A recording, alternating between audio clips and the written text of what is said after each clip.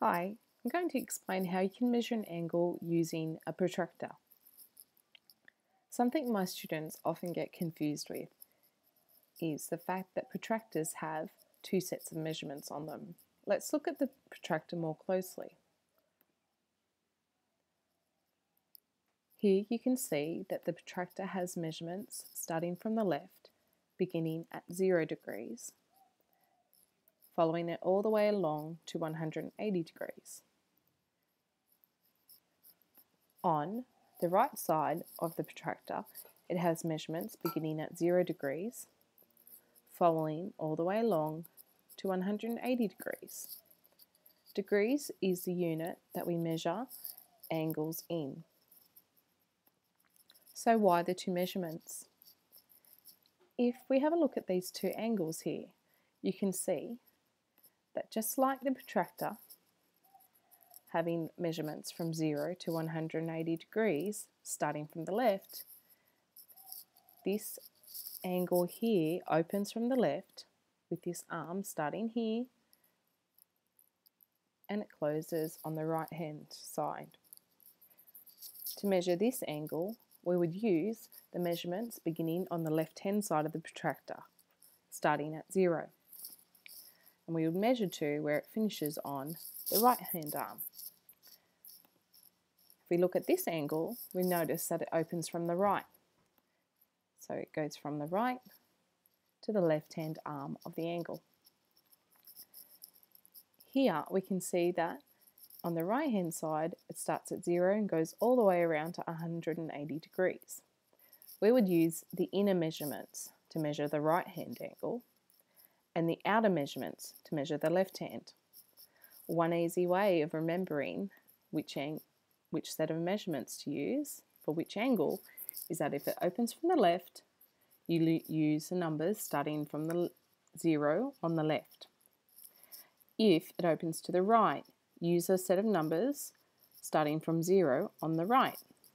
It's pretty easy. Okay, let's measure these angles. If I drag my protractor over, I make sure that the crosshairs of the protractor are directly over the vertex of the angle. The vertex is where the angle meets at a point. That's the actual measurement that you're that you're going to be looking at. So, if we turn our protractor, we also need to make sure that the 180 degree line, the straight line, is directly over the left hand arm of the angle. So we start to measure from zero from the left hand side of the protractor all the way around to where the arm of the angle is. And we stop measuring here. You can see this line here, it is at 135 or just over 135 degrees.